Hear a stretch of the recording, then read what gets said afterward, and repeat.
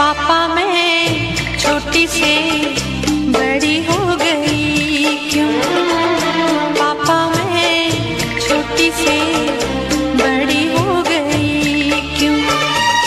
पापा की निगाहों में, ममता की बाहों में, पापा की निगाहों में, ममता की बाहों में कुछ दिन